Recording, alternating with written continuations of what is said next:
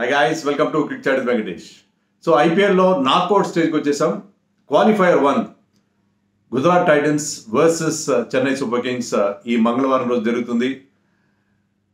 అంటే మనం మళ్ళీ మొదటికి వచ్చినట్టు లెక్క. ఎందుకంటే first match of this season happened between these two teams అహ్మదాబాద్లో జరిగినప్పుడు ఇప్పుడు వేదిక చెన్నై కానీ same two teams seventy matches తర్వాత మళ్ళీ ఈ రెండు టీమ్స్ తలపడుతున్నాయి. దీన్ని క్లాష్ ఆఫ్ టైటన్స్ అని కూడా అనొచ్చు. ఎందుకంటే నాట్ ఓన్లీ వాళ్ళు టాప్ టూ ప్లేసెస్లో ఉన్నారనే కాదు they are the most impressive of all ten sides మొత్తం పది టీమ్స్లో వీళ్ళంత ఇంప్రెసివ్గా ఎవరు మనకు కనబడలేదు. వాళ్ళ పర్ఫార్మెన్స్ ఎలాంటి లోపం లేదు. బౌలింగ్లో కానీ బ్యాటింగ్లో కానీ అన్ని విధాలా స్ట్రాంగ్గా కనిపిస్తున్నారు. And probably they have they are having two of the best captains on view so captains బాగున్నారు టీమ్స్ బాగున్నాయి బ్యాటింగ్ బౌలింగ్ అన్నీ బాగున్నాయి. సో డెఫినెట్గా ఒక హై స్టాండర్డ్ గేమ్ అనేది మనం చూసే అవకాశం ఉంది. అండ్ మరి ఈ రెండు టీమ్స్ మధ్య మళ్ళీ అహ్మదాబాద్లో కూడా ఫైనల్ జరగచ్చు. నెక్స్ట్ సండే రోజున ఎందుకంటే టాప్ టీమ్స్ కదా. దీంట్లో ఒక టీం ఓడిపోయినా సరే వాళ్ళు క్వాలిఫైడ్ టూ గెలిచి మళ్ళీ ఫైనల్లో ఇదే టీంతో తలపడినా తలపడచ్చు. ఫైనల్కి వెళ్ళే టీంతో సో డెఫినెట్గా రిపీట్ కూడా అయ్యే అవకాశం ఉంది. ఐఎమ్ నాట్ సేయింగ్ దట్ ఈ రెండు టీమ్స్ వస్తాయని కానీ మనం ఆన్ పేపర్ చూస్తే వాళ్ళ పర్ఫార్మెన్స్ చూస్తే ఆన్ పేపర్ చూసినా పర్ఫార్మెన్స్ చూసినా ఏ రకంగా చూసినా కూడా these are the two best టీమ్స్గా మనకి కనిపిస్తున్నాయి. మిగతా టీమ్స్లో క్వాలిఫైర్ మిగతా టీమ్స్లో ముంబైకి కొన్ని లోపాలు ఉన్నాయి బౌలింగ్లో అండ్ uh, ఎల్ఎస్జికి వాళ్ళ ఫారిన్ ప్లేయర్స్ ఇండియన్ ప్లేయర్స్తో కొన్ని ఇష్యూస్ ఉన్నాయి. సో ఇలాంటి సినేరియోలో ఈ రెండు టీమ్స్ మధ్య జరగబోయే క్లాష్ ఆఫ్ టైటన్స్ డెఫినెట్గా ఫైనల్ కానీ ఫైనల్ లాగా నాకు కనిపిస్తుంది ఎందుకంటే ఓడిపోయిన టీం మళ్ళీ ఫైనల్కి వస్తుందో లేదు కానీ ఇది ఖచ్చితంగా ఒక ఫైనల్ కానీ ఫైనల్గా కనిపిస్తుంది. ఈ మ్యాచ్ చాలా చాలా ఎక్సైటింగ్గా ఉండే అవకాశం మనకి ఉంది. మరి మ్యాచ్ ఎక్కడ జరుగుతుంది? చెన్నైలో జరుగుతుంది. చెన్నైలో స్టార్టింగ్లో మంచి పెద్ద స్కోర్స్ వచ్చాయి. బాగానే వచ్చాయి. మంచి స్కోర్స్ వచ్చాయి. అప్పట్లో మనకి one one eighty average first innings score కనిపించింది. One eighty two. కానీ లాస్ట్ త్రీ మ్యాచెస్ చూడండి మీరు. పిచెస్ స్లో అయిపోయినాయి. పిచెస్ స్లో అయిపోయినాయి. దానివల్ల ఇక్కడ లాస్ట్ త్రీ మ్యాచెస్లో యావరేజ్ ఫస్టింగ్ స్కోర్ వదిలి వన్ ఫిఫ్టీ. అంత పడిపోయింది. అయితే ఈ మ్యాచ్ జరగబోయే పిచ్ ఏదైతే ఉందో పిచ్ నెంబర్ ఫైవ్ అనుకుంటా. దాని మీద పంజాబ్ కింగ్స్ అండ్ చెన్నై ఆడారు. రెండు టీమ్స్ కూడా టూ హండ్రెడ్ ప్లస్ రన్స్ చేసాయి సో ఈ పర్టికులర్ పిచ్ అయితే హై స్కోరింగ్ పిచ్. మరి అది కూడా స్లో అయిపోయిందో లేదో మనకు తెలియదు హై స్కోరింగ్ పిచ్ ఉంటుంది. అండ్ టాస్ గెలిచిన క్యాప్టెన్ డ్యూ ఫ్యాక్టర్ అనండి లేకపోతే చేజింగ్ ఈజ్ ఆల్వేస్ బెటర్ కదా. చేజింగ్లో మీకు టార్గెట్ తెలుస్తుంది. సో చేజింగ్ ఎంచుకుంటారు దాంట్లో. మనకి ఎక్కువ సందేహాలు ఉండాల్సిన అవసరం లేదు. మోస్ట్లీ టాస్ గెలిచిన కెప్టెన్ చేజింగ్ తీసుకునే అవకాశం ఉంది. రెండు టీమ్స్ హెడ్ టు హెడ్ చూస్తే ఏంటంటే ఈ సీజన్లో ఒక్కసారి ఆడారు. మనం చెప్పుకున్న number one match number one దాంట్లో గుజరాత్ గెలిచింది. ఋతురాజ్ ఒక అద్భుతమైన ఇన్నింగ్స్ ఆడాడు. But the man of the moment Shubman Gill కూడా ఒక హాఫ్ సెంచరీ చేసి తమ టీంని గెలిపించాడు. సో గుజరాత్ ఆ మ్యాచ్ గెలవడం కాదు. లాస్ట్ ఇయర్ కూడా రెండు సార్లు ఈ టీమ్స్ తలపడినప్పుడు రెండు సార్లు కూడా గుజరాత్ గెలిచింది. So out of three three wins ఉన్నాయి. గుజరాత్కి చెన్నై ఇప్పటి వరకు గుజరాత్ టైటన్స్ని ఒక్కసారి కూడా ఓడించలేదు సో ఇది ఖచ్చితంగా వాళ్ళకి సైకలాజికల్ అడ్వాంటేజ్ ఇస్తుంది. బట్ మనకు తెలుసు కదా రికార్డ్స్ అనేవి రికార్డ్సే. మనం దానికి ఆ రోజు ఎవరు బాగా ఆడితే వాళ్ళు గెలుస్తారు. బట్ యాజ్ పర్ రికార్డ్స్ మాత్రం చూస్తే ఏంటంటే Gujarat has a very good advantage over Chennai psychological మరి రెండు టీమ్స్ లైనప్స్ చూస్తే చెన్నైలో ఏ మార్పులు ఉండవు. అదే టీం ఉంటుంది కదా. అదే టీం ఉండాలి కూడా. ఎందుకంటే అందరు పర్ఫామ్ చేస్తున్నారు. వాళ్ళు ఎందుకు మారుస్తారు? Ruturaj and Conway one of the finest opening players we have seen in this IPL season so వాళ్ళిద్దరూ ఓపెన్ చేస్తారు. లాస్ట్ మ్యాచ్లో కూడా బ్రహ్మాండంగా ఆడారు. సో ఋతురాజ్ కాన్వే తర్వాత Rahane at three Shivam Dube the six hitter at four Rayudu Moeen Ali Jadeja వాళ్ళు ఆ lower order బ్యాటింగ్లో వాళ్ళు ఎప్పుడు కూడా సీనియర్స్ ముగ్గురు అక్కడ ఉంటారు. Dhoni coming at eight Deepak Chahar at nine దాన్ని బట్టి ఆ బ్యాలెన్స్ ఆ డెప్త్ అనేది మనం అర్థం చేసుకో తీక్షణ మన్ మతీషా పతిరన అండ్ తుషార్ దేశపాండే. ఇది చెన్నై ట్వెల్వ్. ఇదే గత కొద్ది మ్యాచ్లుగా ఆడుతుంది దాంట్లో ఎలాంటి మార్పు ఉండే అవకాశం లేదు. And they are all performing well. ఇంకా గుజరాత్ టీం కూడా అలాగే ఉంది. గుజరాత్ టీంలో అంటే కొన్ని ఇంజరీస్ వల్ల నాన్ అవైలబిలిటీ వల్ల కొన్ని మార్పులు జరిగినా వాళ్ళు కూడా మోస్ట్లీ ఆ కోర్ని రిటైన్ చేసుకుంటున్నారు. సో అక్కడ Wriddhiman Saha Shubman Gill Hardik Pandya number three Vijay Shankar David Miller Abhinav Manohar Tewatia Rashid Khan Mohammed Shami George Little Noor Ahmad and Mohit Sharma ఇది వాళ్ళ లాస్ట్ మ్యాచ్లో దర్శన్ షానక ఆడాడు. అంటే అతను డక్అవుట్ అయ్యాడని కాదు కానీ మనం చూసాం కదా ఆర్సీబీతో జరిగిన మ్యాచ్లో గుజరాత్ వాళ్ళ బౌలింగ్లో ముఖ్యంగా pace bowlers went for runs even Shami went for runs Mohit Sharma చాలా ఎక్కువ రన్స్ ఇచ్చాడు. యష్ దయాల్ కూడా చాలా ఎక్కువ రన్స్ ఇచ్చాడు. సో యష్ దయాల్ ప్లేస్లో జాష్ లిటిల్ ఐర్లాండ్ నుంచి మళ్ళీ వెనక్కి వచ్చాడు కాబట్టి అవైలబుల్ ఉన్నాడు కాబట్టి జాష్ లిటిల్ అయితే బెటర్ అని అతన్ని తీసుకునే అవకాశం ఉంది. వాళ్ళ ఎందుకంటే హార్దిక్ పాండే కూడా లాస్ట్ త్రీ మ్యాచెస్ నుంచి బౌలింగ్ వేయలేదు. ఒకసారి టీం ఆల్రెడీ క్వాలిఫై అయింది అన్న స్టేజ్లో అతను బౌలింగ్ వేయలేదేమో. అతను ఇక్కడ బౌలింగ్ వేయచ్చు. అయినా కూడా they need some support in the bowling department ఎందుకంటే Mohit Sharma going for runs and Josh Little going for runs అని. జాష్ లిటిల్ కాదు యాష్ దయాల్ అది వాళ్ళని కొంత ఇబ్బంది పెట్టింది లాస్ట్ మ్యాచ్లో and RCB was able to score one ninety seven particularly against pacers so వాళ్ళు పేస్ డిపార్ట్మెంట్ శ్రద్ధం చేసుకుంటారు. షనకాకి పెద్దగా బ్యాటింగ్ రావట్లేదు లేట్గా వస్తున్నారు కాబట్టి అభినవ్ మనోహర్ని మళ్ళీ తీసుకొచ్చి షనకాని కూర్చోబెట్టే అవకాశం మనకి కనిపిస్తుంది. బట్ మోహిత్ శర్మ ఇక్కడ రాణించే అవకాశం ఎందుకంటే Mohit Sharma basically Chennai Super Kings product అతను. ఇక్కడ చెపాక్ స్టేడియంలో ఎన్నో మ్యాచ్లు ఆడిన అనుభవం ఉంది. అతనికి మంచి రికార్డు ఉంది. అతను ముఖ్యంగా అతని back of the hand slower ones Chepauk pitch మీద చాలా బాగా వర్కౌట్ అవుతాయి. So they might play the same eleven or మనం అనుకున్నట్టుగా Abhinav Manohar coming in for Shanaka అది ఒక్క మార్పు ఉంటే ఉండొచ్చు.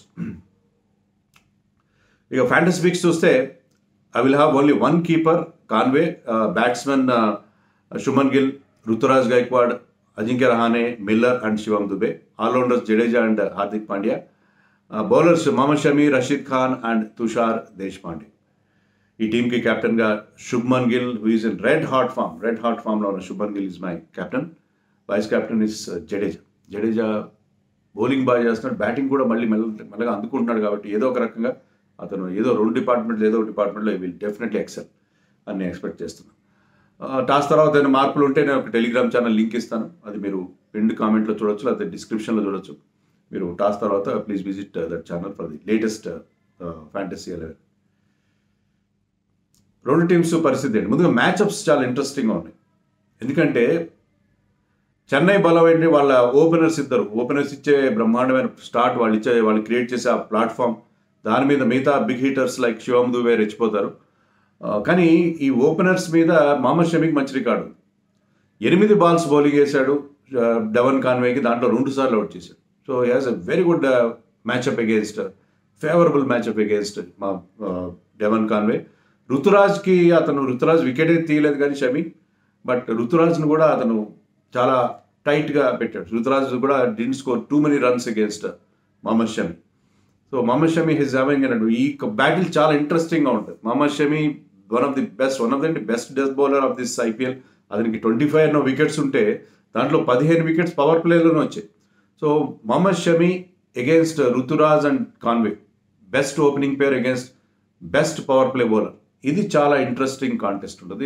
Hardik Pandya might bowl in the in this match in the power play also so వీళ్ళ ఓపెనింగ్ బౌలింగ్ని uh, వాళ్ళు ఆ ఇద్దరు ఓపెనర్స్ ఎలా ఎదుర్కొంటారు అనేది చాలా ఇంట్రెస్టింగ్ బ్యాటిల్గా ఉంటుంది. అలాగే రాయుడు మీద మోహిత్ శర్మ కూడా మంచి రికార్డు ఉంది. రోహిత్ మీద ఆరు సార్లు అవుట్ చేశాడు right as many six times out out చేశాడు.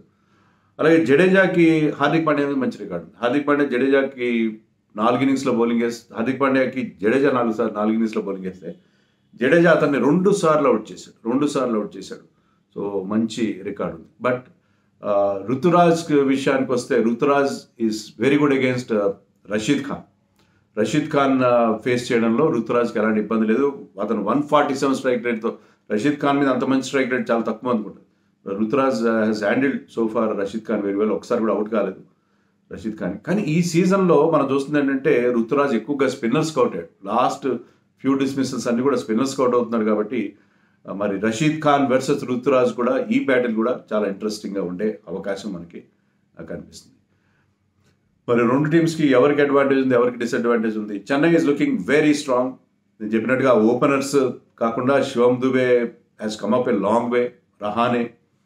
వీళ్ళిద్దరూ కూడా బ్రహ్మాండంగా డెవలప్ అయ్యారు. సో ఓపెనర్స్ కొంచెం అటు ఇటు అయినా కూడా వీళ్ళు దాన్ని చక్కదిద్దుతారు. ఇంకా చివరిలో మొయిన్ అలీ కావచ్చు రాయుడు కావచ్చు జడేజా వాళ్ళ రోల్ వాళ్ళు తక్కువ నెంబర్ ఆఫ్ బాల్స్ ఆడతారు but they make them count క్విక్గా రన్స్ చేసి ఎక్కువ బాల్స్ వేస్ట్ చేయకుండా వెళ్తారు. లాస్ట్లో ధోని వచ్చి సింగిల్ డిజిట్స్ బాల్స్ ఆడినా దాంట్లో కూడా uh, he will play according to the situation so ఈ టీంకి బ్యాటింగ్లో ఎలాంటి నోటిసబుల్ ఇష్యూస్ కనబట్టలేదు మనకి. ఎలాంటి ప్రాబ్లమ్స్ కనబట్టలేదు బౌలింగ్లో కూడా మొదట్లో వాళ్ళ పేసర్స్ అంత ఎఫెక్టివ్ అనిపించకపోయినా తుషార్ దేశ్పాండే మొదట్లో నో బాల్స్ వేసేవాడు అన్ని వేసేవాడు. కానీ అతను he's come up come up very well pre match press మీట్లో ధోని కూడా అతను బాగా మెచ్చుకున్నాడు. He's come up very well అతను డెత్ బౌలింగ్ చాలా బాగా చేస్తున్నాడు. న్యాచురల్ డెత్ బౌలర్ పతిరాణా పతిరాణాతో పాటు డెత్ బౌలింగ్ స్కిల్స్ చాలా ఇంప్రూవ్ చేసుకున్నాడు తుషార్ దేశపాండే అని చెప్పి ధోని అతన్ని మెచ్చుకోవడం జరిగింది. అలాగే దీపక్ చహర్ కూడా he's picking of wickets once again in the power play so వాళ్ళకి ఆ వికెట్ టేకింగ్ ఓపెనింగ్ బౌలర్స్ ఉన్నారు. అలాగే బ్యాక్ హ్యాండ్లో కూడా మంచి సపోర్ట్ మిడిల్ ఓవర్స్లో వాళ్ళ స్పిన్నర్స్ ఉన్నారు. They might even play Santner చూడాలి మరి. శాంట్నర్ ఆడిస్తారా? లేకపోతే దే విల్ గో విత్ మొయినలీనా అనేది చూడాలి. Mm, సో ఆ మార్క్ కూడా ఉంటే ఉండదు under has done well in the few matches that he he's play so ఈ టీంలో there is no apparent weakness at all ఎలాంటి వీక్నెస్ మనకి కనబడలేదు.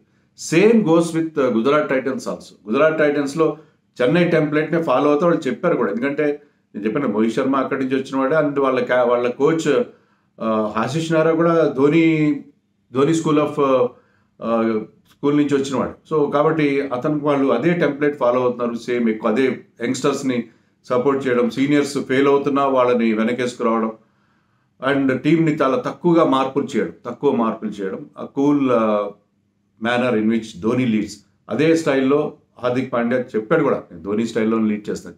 So it is almost like a Chennai team so అదే టెంప్లెట్తో వీళ్ళు కూడా వెళ్తారు కాబట్టి వాళ్ళు కూడా చాలా స్ట్రాంగ్గా ఉన్నారు. సాహా అంత పెద్ద స్కోర్ చేయకపోయినా ఈ బాల్స్ వేస్ట్ చేయడు. అతను ఉన్న ప్రత్యేకత ఏంటంటే he will hit out or get out అది అతని పద్ధతి.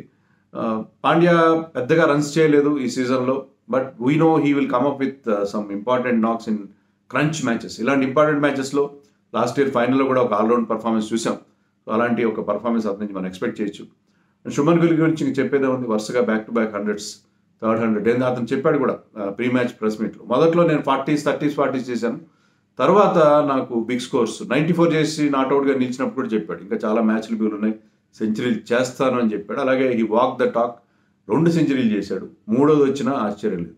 So Shubman Gill is the is in that kind of a form Vijay Shankar కూడా లాస్ట్ మ్యాచ్లో కొద్దిగా ముందు స్ట్రగుల్ అయిన తర్వాత he has come up and ఇది he's having probably the best IPL season probably ఏంటి? ఖచ్చితంగా అతనికి ఎంత మంచి ఐపీఎల్ సీజన్ బౌలింగ్ చేయట్లేదు. Bowling I don't think he even bowled single over but batting మాత్రం బ్రహ్మాండంగా చేస్తాడు అతను is also hitting well and is a gun fielder అతని త్రో కూడా చాలా ఫ్లాట్ త్రో వేస్తాడు. మీకు చూడండి. బౌండరీ లైన్ మీద ఎక్కువ ఫీల్డింగ్ చేస్తాడు. ఫ్లాట్ త్రో వేస్తాడు. Is really is proving is worth for this team after long time ఇంకా మిల్లర్ అభినవ్ మనోవర్ తర్వాత they are all coming to the party whenever is required అవసరమైన టైంలో వాళ్ళు కూడా they are rising their hand and they are putting their hand up and serving the team interest Rashid Khan extraordinary last మ్యాచ్లో కూడా అద్భుతమైన spell వేశాడు. అతను Maxwell out చేయడం that one day match for the Noor Ahmad ఈ supporting his countryman very well so ఆ ఇద్దరు spinners ఎలాంటి పిచ్ మీద ముఖ్యంగా they will love Chennai pitches చెన్నైలో స్పిన్ అనుకూలించి పిచ్ను వాళ్ళు ఖచ్చితంగా లైక్ చేస్తారు.